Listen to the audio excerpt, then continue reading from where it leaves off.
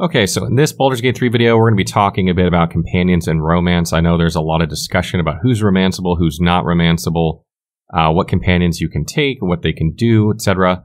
So we're going to discuss some of this in this video, and I kind of want to start by going through the companions, what their abilities are, what their personalities are, do a little bit of a recap before we get into some of the newer things and some things you might not know. So first of all, we have Astarion, right? He is the vampire noble character that is a half-elf he is kind of an evil character in this game. So if you enjoy being kind of a dick to other players and characters, then you'll probably enjoy taking Astarion along with you. He's not always that way, but he does have a lot of quippy one-liners that are interesting. And fun fact about him, if you discuss him being a vampire with him or you let him bite you, he will gain the vampire bite ability, which will allow him to heal himself while dealing damage, and this does not break stealth. And if you were wondering if he was romanceable, if you somehow live under a rock and didn't see the panel from hell or anywhere on the internet talking about this, he is very, very romanceable. And we still don't know what all his flags are for romance in terms of like what, you know, will trigger romances with him, whether it matters what gender you are or not. Um, that it remains to be seen, but we do know that he's romanceable. In case I forgot to mention it, Astarion is also a rogue, so he's going to be thieving around or, you know, using sneak attack on a lot of characters. Remember that we learned recently that characters or companions in Baldur's Gate 3 can be respec into any class. We don't know for sure if that's going to make it into the full release of the game, but it seems like it's pretty sure at this point from what I've seen. So you can change his class, but if you don't decide to keep him as is, he's going to be playing as a rogue. And talking a little bit about romance too, before I get into the next character, talking with Crystal, one of the writers for the game, um, it became very clear that romance in Baldur's Gate 3 is not just do a quest and get laid. I don't know if that's exactly how she worded it, but it was close. It's not just do a quest for this character, they're a personal quest, and then they sex you. They have to agree with a lot of your ideology and a lot of the decisions that you make throughout the game. I imagine there are probably some flags that if you do incorrectly, you might not be able to romance them. I don't know for sure. But it's not just as simple as, you know, do the quest, then they'll have sex with you. So moving along to Shadowheart, she is also a high half elf, just like Astarion. She is a trickster domain cleric, so she has a little bit of stealthy, sneaky stuff in her repertoire. She can also heal and attack from range uh, using spells, and we know that she is kind of not all that she seems to be, right? We don't have a ton of detail at this point on just exactly what's going on, but we do know that she has a fixation on the artifact that we see her have on the Nautiloid, and she's constantly holding this thing, and we're trying to figure out like what it is. And Shadowheart is one of those characters that seems rough around the edges, but she seems like she's actually really a really good person struggling with some very dark things. So I think generally speaking, if you're more of like a good type character or one that kind of rides the middle but tends to lean a little more to the good side, Shadowheart would fit well into your, you know, your party. And also, she's romanceable from everything we know. We don't know again like what her flags are terms of how you romance her and go about it, but obviously doing things that are typically good get her approval and, you know, that usually on the good side of things are, or that contribute to, you know, completing your objectives, she's usually on board with. So next we have Gale, who is a human wizard, and you can recruit him pretty early on in the game. Gale is obviously in this weird boat, right? Because he's struggling with something that is going to cause disaster unless you keep feeding him magic items, which is obviously the unique thing about his character. But he's also a very good character. He's like the classic type good character. Besides Wyll, he's probably one of the best good characters that you'll play. So if you generally like playing a good character, then you will obviously be choosing him as one of your companions. Uh, just like Shadowheart and Astarion, he's also romanceable, but we don't have a lot of details at this point on how that all unfolds. That takes us to Lae'zel, who is like my favorite companion probably, or second favorite companion now, we'll see. Uh, she is a Githyanki fighter, and you can get her very early on in the game. And she's probably, I think, what people would consider like a lawful evil character. There is an alignment in Baldur's Gate 3, but that's kind of the way she is. She follows a very strict code, and if you violate that code, she doesn't like it at all. And, you know, most of her decisions tend to be very self centered, and, you know, they typically focus on survival at all costs. So if you're a player who doesn't mind getting your hands a little bit dirty in order to, you know, achieve your objectives, then Lae'zel is a good character for you. She's also very feisty and fiery. A lot of people like that in their romantic partner. So that's kind of what you're looking for, you'll see now when she's walking around the camp, she kind of has this like leathery outfit on that's, well, you might be into that or you might be not, but you know, she's kind of spicy to say. And some interesting things about her too is like she has a, some particularly interesting interactions with the Githyanki. You meet her along the road near the beginning of the game, and also once you get to the Githyanki Creche, obviously you're going to have some unique dialogues with her there. So there's some places very early on in the game where this character gets really involved with the dialogue. And this takes us to Wyll, who is a human warlock character with the subclass the Fiend. Very charismatic character. Wyll is one of the, you know, true good characters in this game, so and he's got kind of a bad situation going on. He's made a pact with a demon, and now he's kind of bound to do the things this demon wants him to do. And you can either, you know, help him do those things or try and talk him out of them, and there are ramifications either way, depending on how that goes. That's kind of his internal struggle, if you will. But he's a very good character, so if you like playing a good playthrough, which I know a lot of people like doing on their first playthrough, Wyll is not a bad one to take along. And something interesting about Wyll as well is his character has been significantly rewritten, particularly from Act 2 onward, so not a lot we would see there, but some of Act 1 as well. His voice lines have all been re-recorded by a new voice actor, so if you're wondering why Wyll sounds different, it's because he has a new voice actor as well. I wasn't able to get an exact answer about why there's a new voice actor and why it was rewritten, but it's possible it's because they, you know, with the changing to companions being able to respec them, maybe it's possible they had to rewrite the companion in a way that allows for that. I don't know if that's 100% true or not. But, or maybe they just deemed that, you know, the way his storyline went, it didn't fit the story completely. I'm not 100% sure, but I didn't get like an exact straight answer or anything like that. And Wyll is also romanceable for those who want to romance a good person. So then we have Karlach, who is a Asmodeus tiefling barbarian, and she's a female, and we saw her in early access. You could help her or not help her, but you couldn't recruit her. In the full version of the game, you'll be able to recruit her at that point, and you can take on the paladins there with her or not. And she's another character that's really, really feisty, but she's really pure of heart. So if you're trying to make like a party of like all good characters, you'd probably take Karlach, Gale, and Wyll, something like that. Um, keep in mind that you can change their classes to fit around what you want to do again. But she's a very, very good character. She has an infernal heart. And a lot of people are speculating about whether the soul coins that you can get can power her up or not. And while I'm not 100% sure that's what they're for, I'm like 90% sure, just based on a conversation I had with one of the developers when I was playing co-op with them.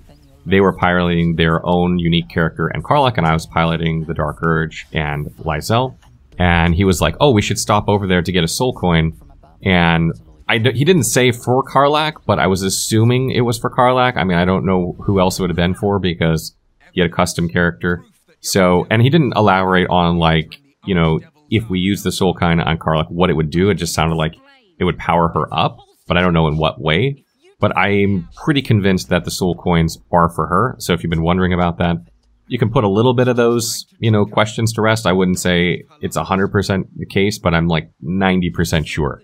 And obviously, if you saw the panel from Hell, you know that you can romance her. And apparently, there's like a whole romance scene after that little dinner scene that you had in the presentation they had from the panel from Hell. Um, during our presentation, we got to see a very similar scene with her, and they like cut it off as it was like fading into what seemed to be a sex scene. I don't know for sure if that's what it was, but obviously she's very, very romanceable as well. So this brings us to the companions that are not playable as origins, right? Like all the previous characters you could play as as your character, your main avatar if you want. But these ones you can recruit, but they are not playable as your main avatar. So Halsin is the first one. He's a wood elf druid and you can recruit him, you know, I believe at the end of Act 1, if I'm not mistaken. And he can be romanced, as we saw in the Astarion scene, so we know that. I don't know exactly, you know, if what sort of flags he has for his romance, whether he'll romance anyone or if it has to be specific characters. Don't have a lot of data on that. We do know he'll romance Astarion, that's about all we know. But he is a very good character if you need a druid in your class. He's also a very good character. So if you're looking for another good character in your party, then Halsin is not a bad one to take. And then we come to Minthara, who is the only character in early access that you can currently have sexual relations with, although we do know you can with the other characters in the full version of the game that I've mentioned. She is a Drow Paladin, and she's kind of an evil character, right? So if you are going to be doing an evil playthrough, then you would probably want Minthara, and um, she can be your romantic partner, and you can recruit her in Act 2. I don't know exactly how you recruit her, but you have to help her in Act 1 in order to recruit her. That was made clear. So if you don't help her in Act 1, you're probably not going to be able to recruit her in Act 2. So if you want her in your party, make sure you help her in Act 1 and do the horrible things to the Grove that are necessary in order to get her.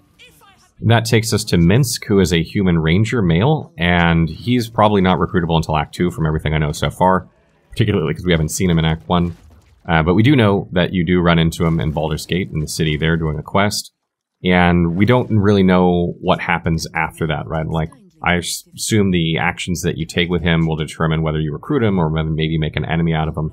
Because there are a lot of mysteries surrounding why he's helping, you know, the Absolute. It doesn't seem to make sense. And that's something we need to get to the bottom to. So not a lot is known with him so far, um, other than you can recruit him in Act 2. A lot of people are wondering if you'll be able to romance him or not, but just based on the fact that I'm like 99% sure that you can't romance Jaheira, I don't think you'll be able to romance Minsc either, but we'll have to see. And that takes us to Jaheira, who is a half-elf female druid. I don't know if she's multi-classed as a fighter or not.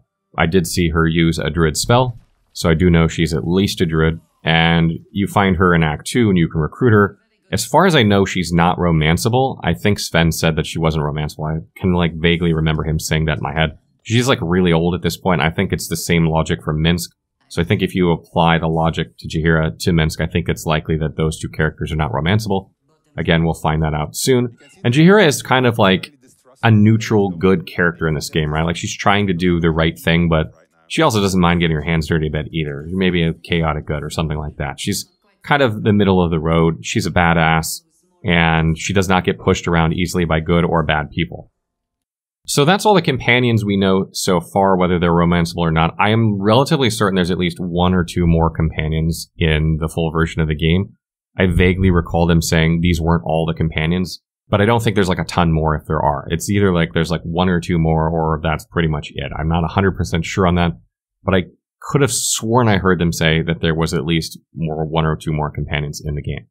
And something I didn't talk a little bit about earlier is the dynamic between companions themselves. They have their own dynamics. For instance, Lae'zel and Shadowheart hate each other. If you played early access, you know this already. They do not get along, and maybe you like both of those characters and you want them both in your party. It's hard to keep them both happy, and you might run into problems doing that. Or maybe they'll become friends if you keep them together long enough. You don't know. And one other thing I want to mention about companions in this game is that there's not only the romance side, but they can also leave your party if they're not happy with you. They don't like the decisions that you've made, they can leave, or they can betray you, or they can try and kill you. So I think people are kind of aware of that aspect from like Lae'zel. You know, at the beginning, she's very clear that she'll end you if you start changing into a mind flayer. But I think it'd be a far more interesting if all of a sudden Gale decided to blow your head off with a fireball because of something you did these sort of things, you know, are the things that get my mind turning, right? Not the obvious betrayals or attempts on you, but the things that you might have to push some of these good characters to do in order to do these things. So this obviously means that you need to be a bit careful about the things that you do and the decisions that you make and the company that you keep because it's not only about, oh, whether they love me or not. It's about maybe they'll hate you and try and kill you and spill your guts all over the floor. Uh, another one, spoiler, so turn your ears away if you don't want a spoiler on this one is that Wyll's demon or, you know, fiend, whatever, that he's got a pact with, wants him to kill Karlach. And he doesn't want to kill Karlach. And you have to decide whether you're going to let him do that, which he can, or to not do that. And there are ramifications if he doesn't, because he would be basically going against his pact. So, you know, it's like, which, which you're going to pick? There are a lot of hard decisions in this game, and some of them come from the companions that you choose to bring along with you and their dynamics together. And one last piece of information that I want to leave you with that I don't know if anyone else has mentioned anywhere else when it comes to the romance front, and I know you guys will find this juicy, but it is possible to romance multiple characters at the same time. Now, it depends on the characters that you're romancing because not all characters are into that. Obviously, they will not have any of that. But some characters don't care. So you might be able to have multiple relationships in this game depending on which characters they are, and you might have some interesting scenes uh, because of that in some cases. So keep that in mind as well. So that wraps up our video on companions and romance in this game. Um, I, I think there's some things in there people probably didn't know. I know a lot of this was probably known, but for people who haven't been keeping up with Baldur's Gate 3, some of this is probably very new to them. Uh, we'll obviously have specific companion guides uh, when we get you know closer to launch. We did ones for early access but we'll have more thorough ones after launch when we know specifically how you can romance these characters and what you need to do and what you need to avoid, etc.